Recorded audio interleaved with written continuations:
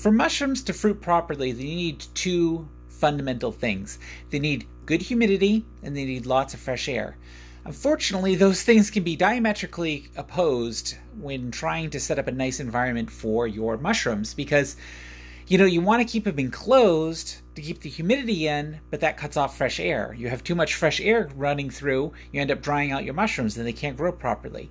So to find that balance is really, really difficult.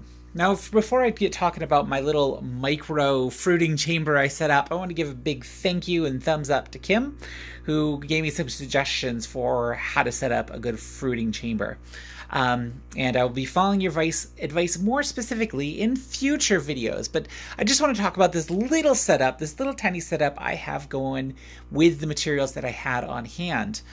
So Right now, I am using a seedling 10 by 20 tray. This is an extra sturdy one, by the way. I will be including a link for this and a lot of the other materials I'm using in the, the description below, so definitely check those out if you're interested in building your own little fruiting chamber.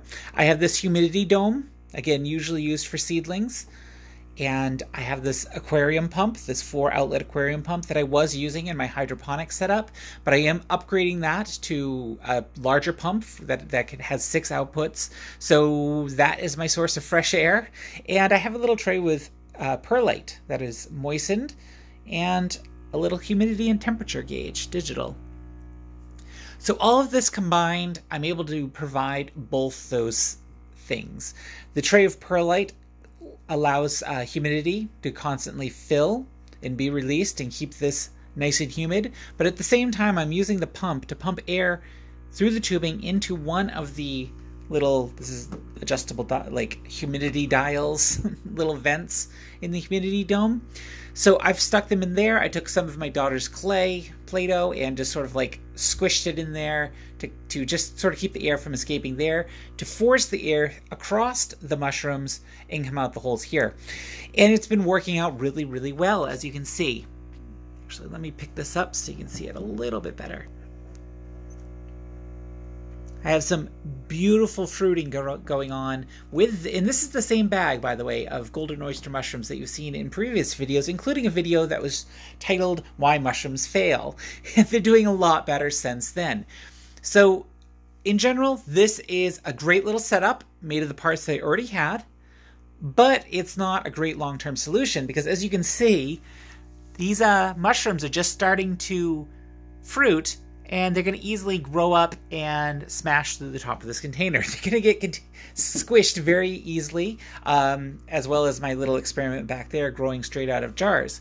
So I don't have a lot of headroom. I don't have the space, the volume that's necessary for growing the mushroom, growing mushrooms at the level and at the capacity that I want. I don't have that. So I am going to build a bigger setup. I'm going to get a large plastic tote. I'm going to get a CPU fan to blow the air through, and I'm going to cover the entire bottom in this moistened perlite basically all to create uh, a situation where I can grow lots of mushrooms and have lots of space, but have it pretty, you know, contained and controlled.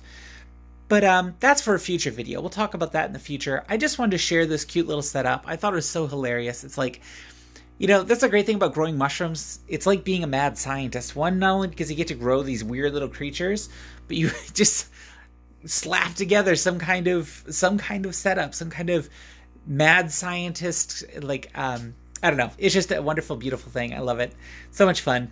In any case, Thank you so much for watching. Um, if you like this sort of video, please give this video a thumbs up. One, it helps me with the YouTubey stuff, and it also lets me know that you like these sorts of videos, so I know to do more. So give me a thumbs up. If you're new to my channel, make sure you subscribe, because you don't want to miss out on the adventures, mushroom growing adventures, or any other adventures that I happen to get myself into.